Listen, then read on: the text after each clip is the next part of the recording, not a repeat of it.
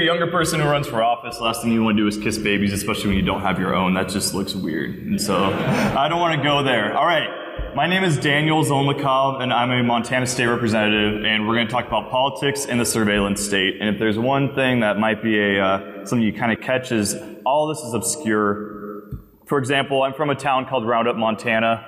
I'm 31 years old. I uh, actually first served in the legislature at 25 years old. Currently, I chair the House Energy and Technology Committee in the State House. Yeah, they let a Russian help dictate uh, energy and technology policy for not only Montana, but the, the Northwest. That's a scary thing, especially in today's politics, if you ask me.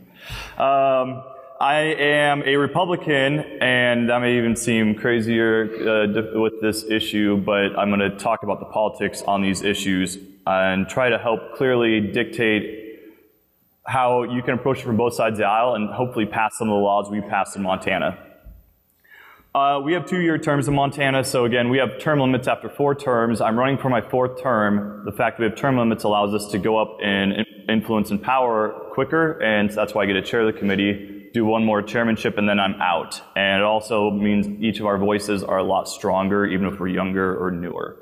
Uh, random facts about me. I am a swimmer. I am a current MBA student. I previously spoke at DEF CON 21 where I did not do my shot, so that's why I had to come back.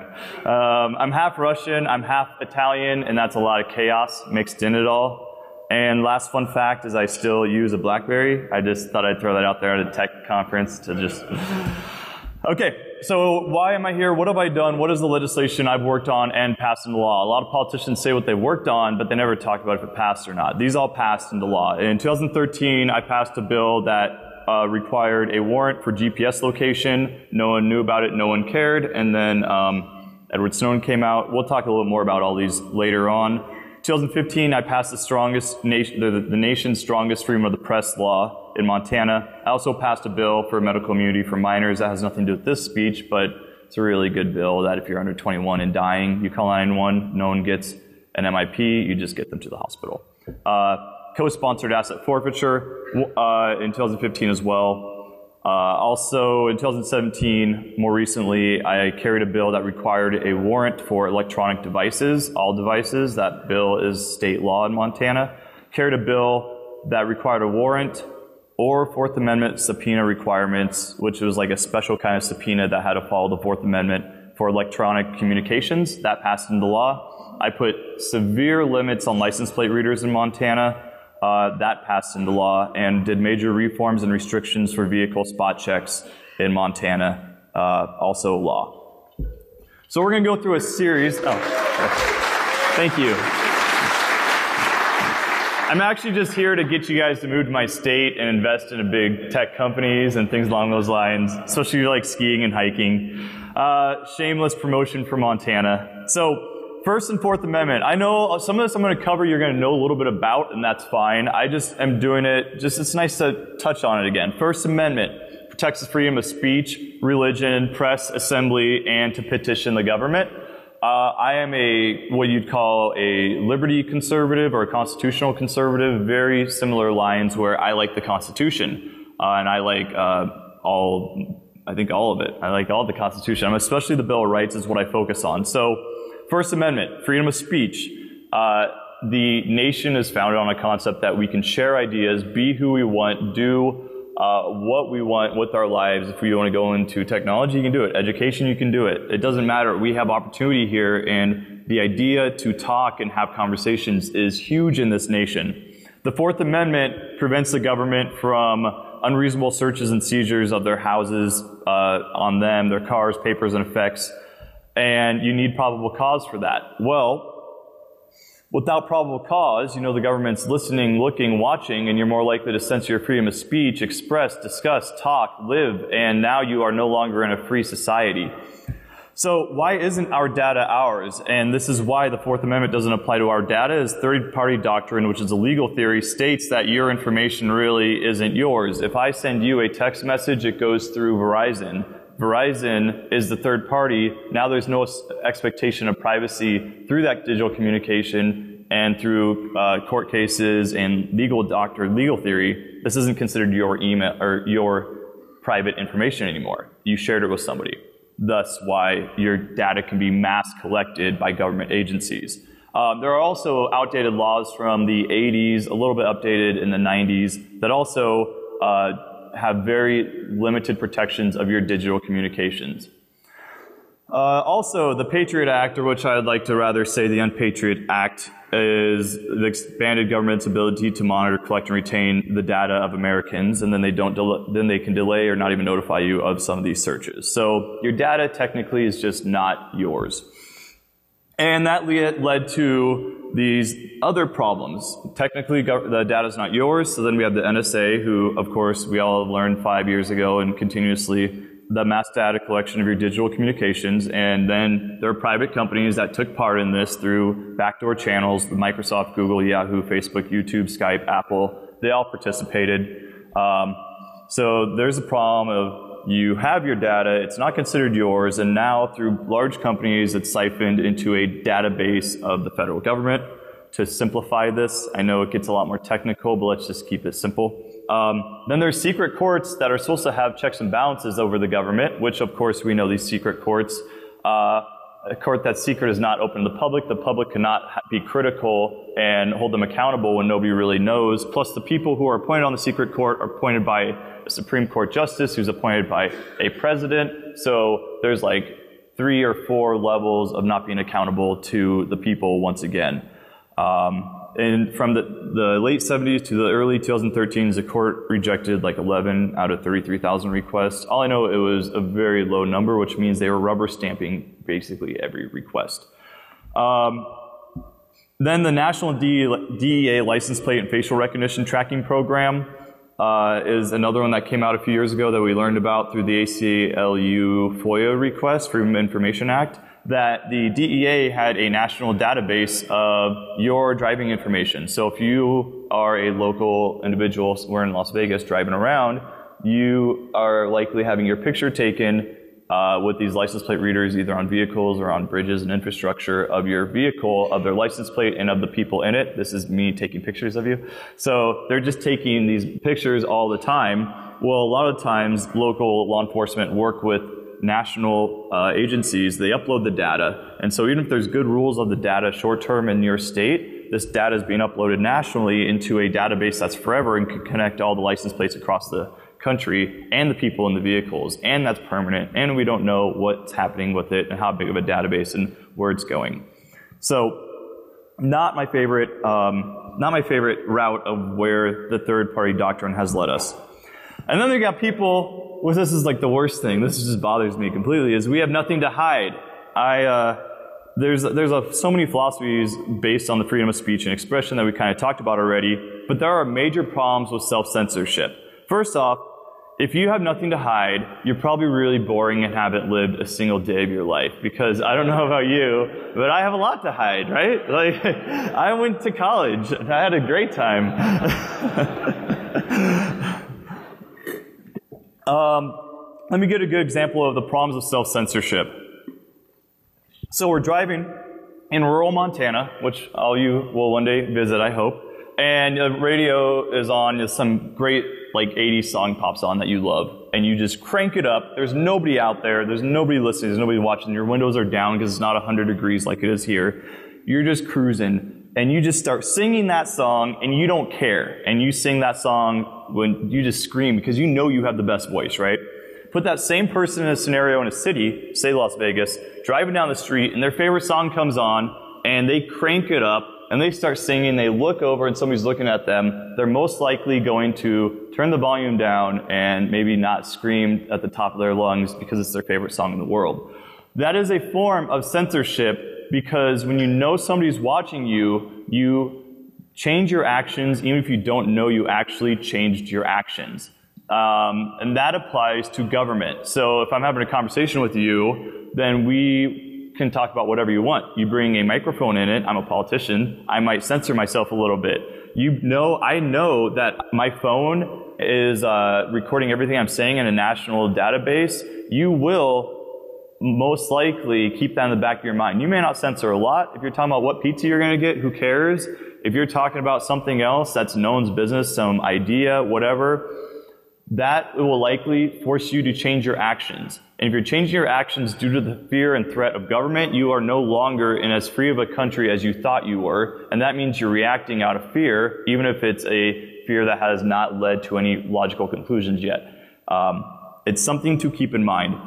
One other thing I wanted to touch on was Montana literally 100 years ago had some of the worst sedition acts in the country where if you spoke German, you were uh, beaten, uh, you're arrested, beaten, and imprisoned. If you said you didn't support the war, you were arrested, beaten, and imprisoned. If you if you said some of the companies had horrible um, uh, conditions for work and labor, you were arrested, beaten, and imprisoned. And so, really bad laws where you were not allowed to have anything, say anything. If you didn't buy bonds, then you were also considered like maybe treasonous uh, really bad. So in 100 years, we wanted to, I, we were basically able to go from the worst, one of the worst states in the nation, which these laws were passed, passed federally for a period of time too, to literally one of the best states in the nation regarding having uh, some solid privacy rights. The last thing I want to touch on is you may have nothing to hide, but one day you might. We only know what we know and what we live through, but all scenarios change, all governments change, and history is proof that everything that has ever existed a thousand years ago has changed. And almost 500 years ago, 400 years ago, in forms of governments, they always change.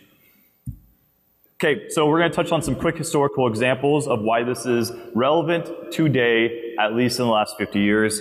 First one, J. Edgar Hoover. He had documents, information on congressmen uh, senators, and he would leverage them and say, hey, we know you had sex with this person over here. You really don't want your wife to know or your voters to know, so please do what we want. That happened in our government, which means that our legislative branch, the voice of the people, was actually not truly representing the people is representing fear at one point. Now, it's not like J. Edgar Hoover was asking for a lot at all these times, but the whole concept was our, our government was uh, hijacked for a period of time out of fear. Even presidents feared the guy. And he tried to blackmail Martin Luther King uh, Jr. to stop uh, with sex tapes, actually, that uh, did not stop him. But one person with data can do crazy, scary things in our country. Uh, Watergate is just proof how political parties will do whatever they can to collect, obtain data on their ad- adversaries or enemies or their um, their opposition to beat them. This speech, after I give it, if it's uploaded or whatever, it will be sought through, it will be gone through. They'll be looking for me to say one or two lines that I said something wrong or dumb, which I say that all the time, so they have plenty of material. Um, last one's East Germany with, uh, and you know, East Germany was the part that was held, that was uh, held by communist Russia. And with the Stasi, and they were only able to tap 40 phones at a time. They were able to silence and keep an entire country, or at least that region of the country, in fear of their government, where people would actually tell on their families and friends. Uh, very scary, um, very scary, but real example. So we kind of talked about how to use these tools to take over the world, but they are they're they're real because you have a huge amount of data on everybody in this room and everybody in the and especially people running for office. You have examples of how data was used to blackmail, leverage, uh, expose, discredit individuals. And as you know in politics today, I know it's fair, everybody's favorite topic, but you get one person who can bend the, the oversight or access that information, they could stop anybody they want to. Um, and that is a real thing. That's not like some conspiracy theory. If you had a, if you're in that powerful position, you could stop anybody politically. So there are some limits and standards worth imposing. I would love the data to be deleted. If it's not, how about we do what this country is based on, which was checks and balances. Um, required records of searches of the mass data collected, who searched it, why were they searched, and at some point release this collected information and ensure that that way, knowing that what you searched and who you searched and why you searched is released one day, will know that one day you'll be held accountable. So you might think twice about what you do today. Um, have a better court system that is overseeing this. Either have it have a more public process or again a more transparent one. Have burdens of proof for the data that is requested for when people's information is being sought through through these mass databases um, that there's Fourth Amendment standards or notification standards. If you're ever, if your information is ever sought through to see if you were involved in any criminal activities with your cell phone number and all the messages or your email or whatever they use, have notification standards to ensure that one day you're going to know. So unless they really know you're guilty of something, they're going to think twice. These are pretty solid and easy and uh, basic limits and standards worth considering. Considering. So, story time. Uh, I ran for office at 25. I knocked a lot of doors. I knocked doors for four months. I called for called people for months. I had to raise money. It was a great time. Um, it's something that I wish everybody else would acknowledge and, and, appreciate because you think of politicians, you think of these guys who are being like money and doing all these evil deeds, but it is a lot of it is it is not glamorous. Put it this way, it is a lot of alone and you're trying to just talk to people and knock on doors and get elected so you can actually do something good, especially the newer politicians, like not newer as in the guys who used to run, but someone who's new and running for the first time. There's a lot of idealism behind that and uh, a lot of effort, and they're challenging an entire system uh, that they've never really experienced, most likely before.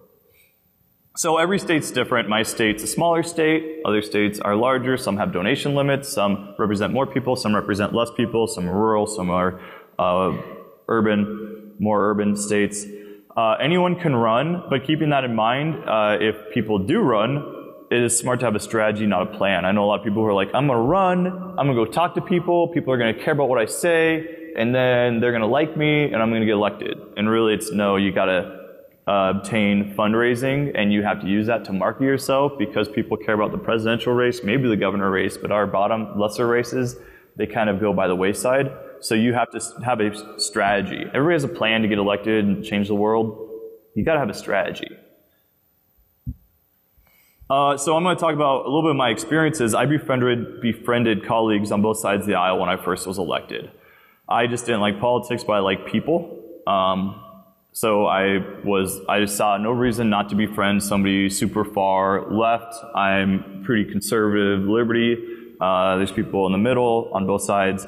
And it was very valuable, and it was not a strategy. It was just luck that I tried to do a privacy bill of rights in 2013. It failed. Said your data is yours. You need consent to collect. There's got to be security. Um, it was well intended, but not well written. So where it landed was probably where it should have, but the lobbyists want to make an example of me because I told them I don't like them, in other words. And um, it's created a reputation that I am not easy to work with, and that it's not true. I'm very easy to work with if you don't lie to me and you negotiate so I make sure whatever bill I'm working on gets 90% of what I want. Yeah. uh, okay, so, um, but then I talked to a Democrat senator who's like, Daniel, your bill failed, but we really like what you attempted to do, or I like what you attempted to do, so why don't you try to do a GPS warrant requirement bill? And I said, okay. And so Democrats knew I didn't care about like working my way up. Republicans knew that um, I have pretty conservative values, especially like taxes, and I really like our freedoms a lot, enough passionately to basically ruin my political career in three weeks of being elected. So um, I think that basically not being, I mean, you can use this motto for life, but don't be a dick. Like that applies to life, but it also applies really well to politics because uh, it gave me a really good, simple bill that we ended up passing in Montana, being the first one to pass it. Um, 2015, went back and I was like, and I had a whole slew of these privacy bills that needed to have good uh, precedent set nationally. And the one that ended up passing was the freedom of the press for privacy, saying the digital communications of the press cannot ever be obtained. There are no exceptions. They can never be obtained. Freedom of the press is the watchdog of the government although it's very partisan and biased and probably not doing as well of a job as they could be from when this was historically written, without it, we look like North Korea, where you don't know anything and the only government or the only media you hear is state sponsored, and that's never good. It's never good. So that bill ended up passing. My warrants for devices and digital communications bill failed in 2015, later passed in 2017. But that ended up failing because of politics and the, there was a lot of misinformation from prosecutors and law enforcement how if we pass these bills, uh, like we're never going to catch rape victims, and uh, I don't know, make up the argument. That's what I had to defend against. Um, the bill on li- limits on license plate readers and spot check legislation that also failed. There were some people on the other side of the aisle who uh, tried to leverage my vote, which I did not give up. There were some people on my side of the aisle who just thought I was a arrogant punk and they wanted to put me in my place. I mean, I can't really always argue with the guys on my side of the aisle. Sometimes I can be a little bit of a punk, but um, I don't think they should kill legislation based on my personality. They thought they should have. So I'm going to tell you one thing. I spoke at DEF CON 21. Edward Snowden came out. It was realized I passed the first uh, privacy bill of its type in the nation five years ago. Forbes uh, put me on their 30 under 30 list. And all of a sudden, I got more positive national press than anybody else in Montana politics. That's not a bragging thing. Why I'm telling you that is it helped me because people wanted to take me out politically. They wanted to remove me from office. And I was not removed because you can't take out the guy who's getting all the positive press in your party. And so, some, and it was the conservative guys were more on my side. There were just some of the other guys who were not, and a lot of the industry was not. So, the power of DEF CON 21 is actually what allowed me to come back up here with successes that uh, that I'm going to talk about in a few minutes. So, thank you all.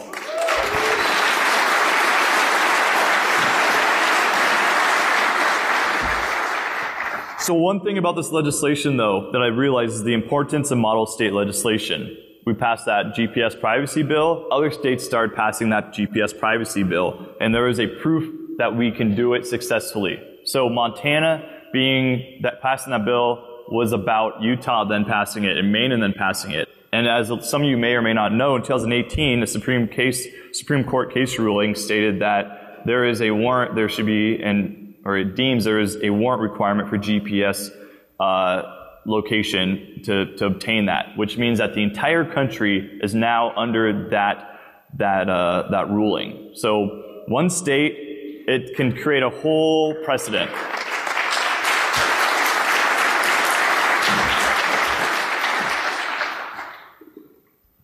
So next was my third term. So I, I didn't explain one thing. We serve four months every other year. So we had to do all these bills in four months um, every other year. So I actually only had a year to do these bills. And we actually only have two months to pass it through our body and then the other body. So it's like very time crunch period. Um, so third term, I had an election. I had the second most expensive primary. My seat became more conservative because it's redistricted. So I had a very expensive lot primary with industry, at law enforcement, uh, uh, basically anybody from the contractors, hospitals, the utilities. A lot of money spent against me um, because they knew if I won, I would first off, I'm going to keep trying to do my privacy bills, and also I'd be the chair of the Energy and Technology Committee. Montana's an energy state. That wasn't some people's ideal uh, result, and they didn't. That's not who they wanted to be chairing that committee. So, again, with term limits, I won that election. I uh, got to um, chair that committee. And when you're chairing a committee, people are a lot nicer to you because they know something of theirs might go through that committee in the near future. So it's amazing how some of these bills had a lot less, there was a lot less leverage for my vote on the House floor because people are like, yeah, that's a bad idea. Let's just leave Daniel alone and bother somebody else. So n- nice, nice. Uh, term limits do have their benefits, right? Uh, so 2017, these are the bills I kind of touched on, but we passed the warrant requirement for digital communications, and there was I uh, some of these model bills that are now in law in Montana. There had to be a few um, meeting a little bit in the middle. Like notification was 90 or it was six wait six months versus three months of notification standards if they ever go through digital communications. There are some other things along those lines, but I still think it's a pretty solid model bill that Montana passed. Warrant requirements for devices, you need a warrant to go through electronic devices. They can't pull you over say, are you texting? Let me go through your phone. That's, that's not going to happen in my state. That's like, legally it can't happen. Um, or your computers or whatever. And we define devices as things that haven't been invented yet either. That's not what it says in the definition, but it's a very broad definition. A lot of times when you pass laws, you make the definitions too tight to not apply to the future. I do not want to do that. Uh, then license plate readers we never had, we did not have these yet in the state, in my state, but they were trying to get these put into the um, place. And so I worked with the, with the, one of the main guys in law enforcement in the state and probably one of the most reasonable guys. And he's like, Daniel, why do you want to ban these? I was like, national like databases of where we've driven in Montana, like in Montana being uh, applied like and held forever by our federal government. I don't want to take any part of that. So, with the exception um, of a few certain things like kidnappings, um, they can be used. The data is collected 90 days, I think, at max. Whoever goes through the data um, has to be recorded of who, of what data they went through, why they went through it, and then if any other any other law enforcement group wants to obtain that information, they have to get a warrant. So if the if the sheriff's office wants the police departments, have to get a warrant. If the federal government wants the state state um, police department or one of the police departments, have to get a warrant with the defined license plate number they're looking for. That way, they can't get a warrant for all the information ever. It's the warrant of just one license plate. So that's either means they have to do a few million requests daily, or they aren't going to get our information. And hopefully, they're not. I mean, I don't, I'm not a prosecutor, so maybe there's some loophole I missed, but I try to basically say you could use it for very close, limited things, but not for pulling somebody over because they have a, a license, like a license that's expired or something. Like, it's not really the big crimes we're worried about. Um, so that's the, the license plate reader law that's in place. Then vehicle spot checks, we really reformed those so you can't just pull people over. I keep, that has nothing to do with technology, but it has to do with the civil liberty side of things. And then also this whole time I was working on like, like handfuls of, of energy policy that, um, that were good. Some removed special laws from huge corporations, which I know a lot of people in this, this group would probably like. So passing the bills. This is a little bit more important. This is where it becomes more applicable to you if you want to apply it in the future. Um, so my question here is, what do gun groups, the ACLU, like family, um, like Christian organizations, hackers, citizens, and I forgot to add in there libraries have in common? Those were the people who supported my legislation. So unique coalitions are key. So let me say again, you got gun groups and the ACLU and like family organizations and hackers, citizens and libraries. That is the island of misfit toys politically. Like,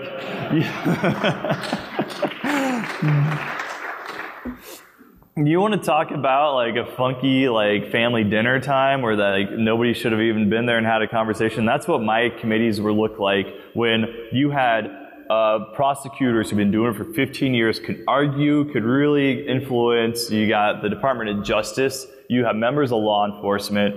Um, who else did we have? Those were the main ones that showed up in opposition, and they um, they were good. They were very good at what they did. There was a lot of misinformation. They would lead the argument, well, if my kid got kidnapped and you didn't have this in place and this could really go and we couldn't catch these people, when the whole argument would go into like license plate readers that aren't even in place yet. So it's like, well, if we don't have something in place that's not in place yet, how could that impact you catching the person who's guilty? So I had to defend against these impossible arguments. Um, or the whole, like, so there's distractions or there are just build up arguments where they burn the whole thing down. And all I was saying was, all I'm doing is just requesting a Fourth Amendment warrant requirement. You can email, you can get it. This is like for the, the warrant requirements for devices. You can email the judge, they can sign it in minutes, they can send it back to you boom, that's it. Not really some crazy stuff. Like, I'm not saying you can't ever access this information, just do it the proper way. So, uh, one thing with, I'm going to touch, I think, with the, yeah, unique coalitions a little bit later, but that goes back to be nice to people. Um, there is a lot of, of Republicans who would never talk to the ACLU. Um, there's a lot of Democrats who wouldn't talk to the family groups. You'd be surprised somewhere along the lines what you have in common. We have 95% of everything in common. I don't care if your politics are diametrically opposed, you're a member of the NSA and love every second of it. We still have almost everything in common. I know it's a crazy statement to hear, but it is, it is very true. Um, I'll touch on that a little bit later. Uh, our efforts, so there were a lot of efforts to become a privacy technology expert.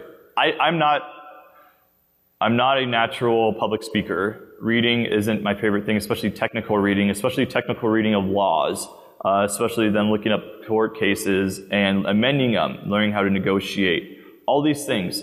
Uh, I had to teach myself over four, five years. So when somebody came up to me with an argument, I was able to stand up and have the reasoning, understanding, and oppose it. We don't have staff in my state. We don't have personal staff. So I had to learn it all, negotiate it all, and get on the ground, call people out in committee, uh, lobby the votes, do all the work. It wasn't like the, a lot of politicians come up, their staff do 90% of the work. They're the one, the staff are talking to their constituents. No, I had a 10 minute little break. I'm on my computer emailing back my constituents while in session, then sitting back down, going in the hallway, negotiating a bill that were pretty big pieces of legislation, emailing people out till 9 or 10 at night with um, new amendments, getting it to the people to get them written legally for our bill drafts, and then going back at it in the morning. Non-stop. Um, so basically, how to become a privacy technology and, and, and legislative expert. Um, one thing is there were groups who showed up, like I mentioned, and there were groups who did not show up. I talked about the ACL, ACLU showed up. Other tech groups that you think are very helpful weren't even in the room, weren't even in the state. So I was trying to pass some good precedents. They didn't show up. I won't call them out just to be respectful, but I, um, they almost actually at one point derailed my legislation, and it infuriated me since I've been working on it for four years. Um, so here's here's what we got. We got multiple model bills for your states, and that's good regarding government. But here's my main failures. I tried to amend a bill saying you cannot collect browser data, uh, and that failed 52 to 48, 48 to 52 on the House floor. I believe your data belongs to you. It's like my philosophy. That's weird in politics, but your data is your personal information, and if it's obtained, just ask for consent. Um, so we're going to be working on a bill like that a little bit more, uh, and it's more for ISPs, not edge providers. And consent to collect is huge. And also the other one that I'm going to be putting more of my political capital into is uh, biometric data. I firmly believe, even more than personal data, personal browsing data, that biometric data is complete, completely your property. I'm working on the legislation. I've got smart people working on that. Um, I think it would go through my committee, so at least it'd have chance, a good chance of going through half the legislature. See, that's what happens when you get people in power for too long. They start to move bills through their committee. Um, but hopefully, I think that's a really good precedent policy that we could pass in Montana.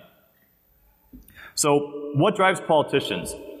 Uh, influence, power, change, anger, political involvement. Some people want to influence an industry that they're part of. They think it's the best way to do it. Some people just want power. They were treated poorly as a child and now it's their way to get back to the world. Who knows? I don't know their family background. But people want power and you can see it. They, it just, it just, you feel it. They want that influence. If there's an edge, they're going to find it. Some people truly want to make change. Uh, some people are just angry at the whole system. And the angry people are harder to work with because they're angry and they want to be angry at you and at everybody. And then there's people who have been following politics their whole life and then they buy into the rhetoric of both sides. And so they are just, there's through political involvement that they're driven. And they listen to their left wing or right wing media all the time. And that's, uh, so those are, the, those are the five major points I'd say drives politicians. One thing to keep in mind if you ever talk to politicians in your state about these issues, because that's what I'd like you to do, you'd be surprised how much influence you have as an individual on your politician, is there are hundreds of issues. People run for energy, education, healthcare, transportation, taxes, family issues, gun issues. I don't care. There are hundreds of issues, hundreds of issues. And a lot of the people who are elected are older, so your issues, my issues, aren't really relevant to them. They're not as important to them. That doesn't mean they're not important issues. It means that they don't just study all hundreds of issues. They kind of focus on theirs, and somebody else focuses on another one. In my legislature, I focus on technology issues and other um, and energy issues, and then other people focus on healthcare and, and like I said, education, all along, all across the board.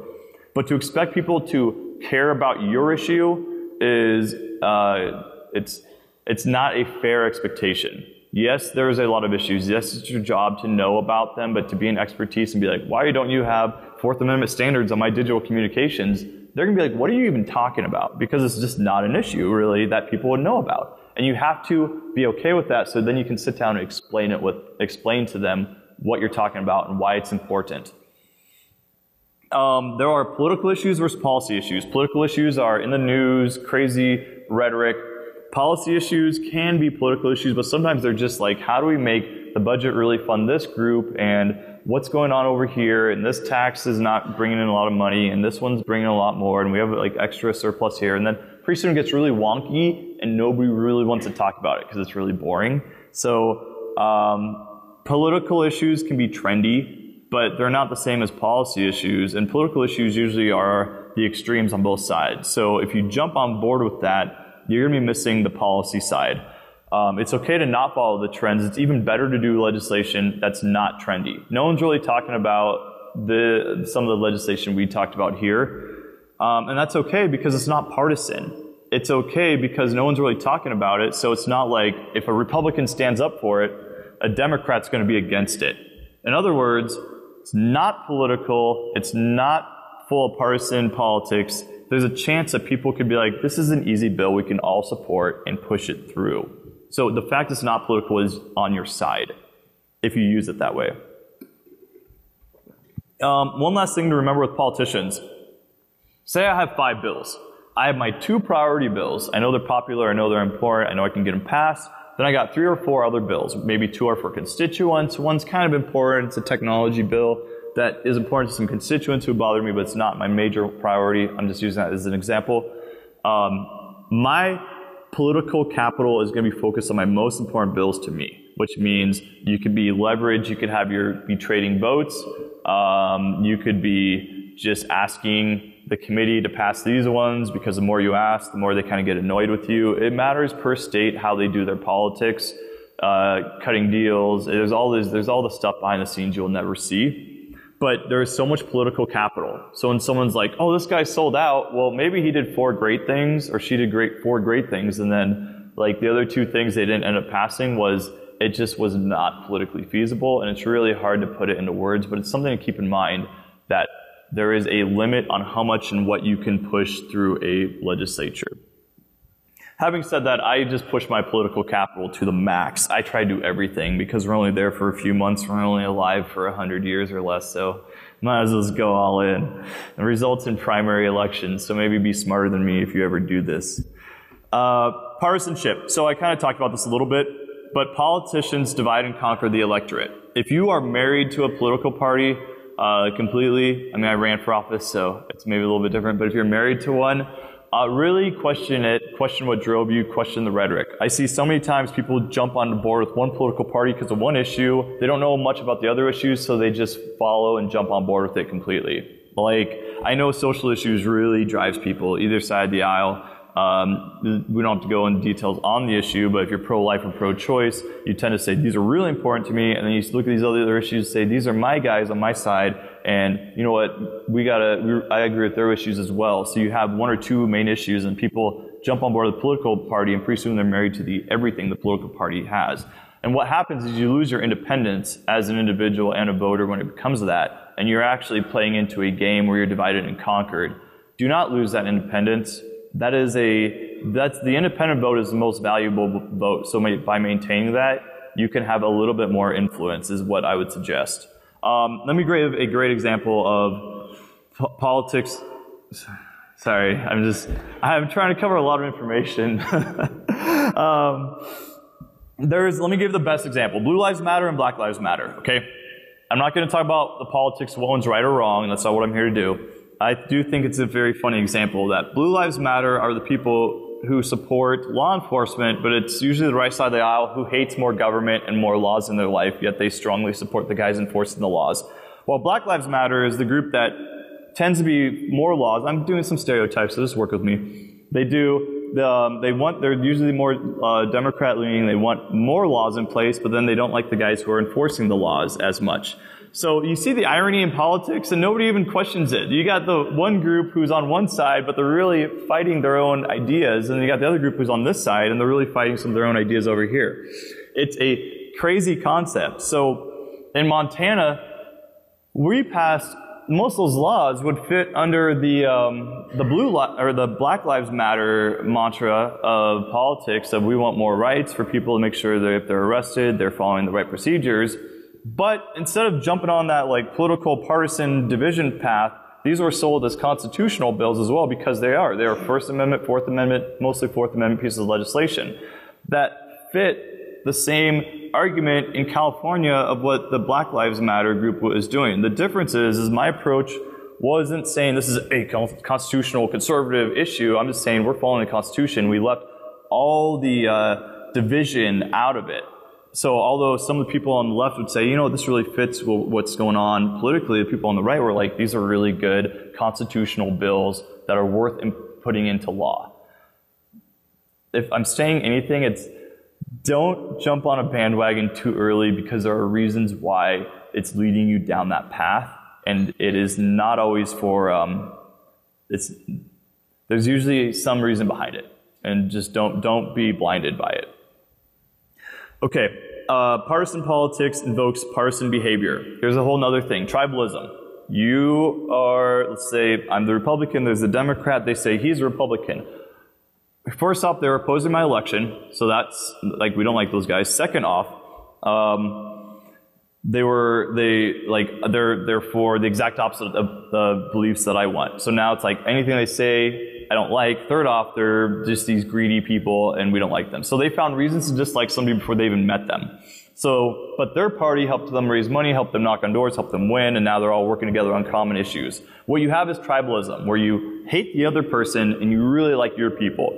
When what you lost was your ability to question the people internally, what they're going for, and figure out if you have any common ground across the aisle. Our politics right now is huge uh, differences where you can't even trust and there's very limited dialogue. Uh, my legislation all passed because I had people on both sides of the aisle jump on board with me um, and say this is good legislation because I did not adhere to tribalism and follow those basic rules of this is my team and I hate that team. If you have that mindset politically, this is this type of legislation will never move forward. This legislation can move forward in the U.S. Senate and Congress at the Patrick Leahy's, Rand Paul's, and the Mike Lees and the um, what Wyden out of Oregon. If those guys really spearheaded it and held back their political capital together. The thing is, a lot of those guys literally hate each other, and so it's hard when you have a coalition of people who can agree with the idea, but they sometimes can't get past the personalities and tribalism. And like I said, keep this issue nonpartisan. If do not make it a one group or another group. Especially if it's a more of a liberal legislature, then you know that it follows more with, uh, like I said, the Black Lives Matter concept. If it's more conservative one, these are complete conservative issues. You're not lying to either group. You're not, you're not like telling them half a story. You're just t- talking to somebody how they want to be spoken to in the way that they can relate to what you're doing. Um, the last thing, one of the last things is force politicians to listen. So people think of federal politics as everything, but state politics is everything. We make a lot of rules and we are very accessible. So you can literally sit down with almost any state representative or senator. Some of them are not the nice people. Um, but a lot of them you can reach out to, ask their office and say, I want to meet them, I want to talk to them for 15 minutes. You can talk about these issues that are important to them. You say these guys should represent me, but most people don't ever reach out to them. They don't even know who their representatives and senators, senators are at the state level. So make them represent you. You're the constituent. It is literally your job to figure it out and ask them to hear you. Um, make, especially more importantly, make a politician in a tight election earn your vote. If you say, hey, I know you're running, I know this is an expensive race, this is important to me, they're so likely to placate and give you their support on an issue that's not important to them.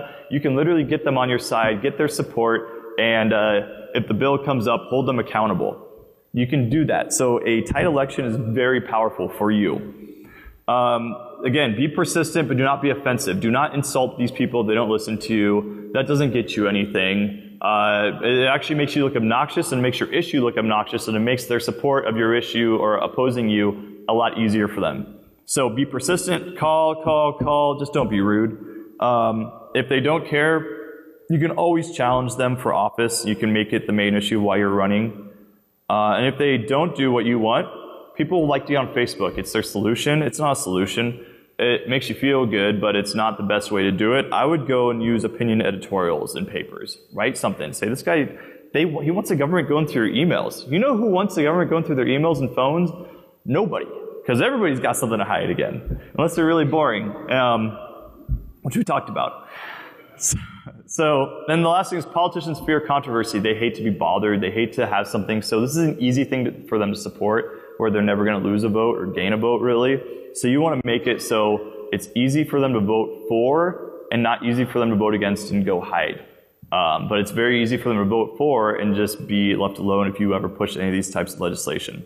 Just the last thing is expecting them to know better is never reasonable because sometimes they just don't know about these issues. It's not even in their generation. So let me go a little bit further. I have just a minute or two left, but I identified the bill sponsor. You got to have somebody carry the bill in the legislature. That's really important to do. Um, and then organize. You need to just contract, contact the people, um, contact committee members of where the bill would go through, and you could get support of this type of legislation. Um, work with groups. Uh, the other group that was very helpful was the Center for Democracy and Technology with this legislation. They gave me the original model bills before they were like in law, so that I got to kind of disrupt. So work with groups. Doesn't matter what your politics are. Find the commonality, and in the end, testify. I've worked on legislation for people who didn't show up to testify. That's really annoying. So please, if you ever do this and have somebody work on this legislation, testify. This is the last slide of why you matter, and this is a little bit different than everything else we talked about. Regarding technology, if technology is used inappropriately, it could really ruin our republic, and uh, it could put a lot of fear into people. So, I think this law or this quote is proper. When law and morality contradict each other, the citizen has the cruel alternative of either losing his moral sense or losing his respect for the law. So, in other words, if you're going to follow a bad law, you might lose your morality. But if you refuse to follow that law, uh, you re- lose respect for the law. But you know what? You might actually be some of the most important people if if the worst case scenario comes into fruition. So with that, thank you for having me, and I appreciate having this opportunity.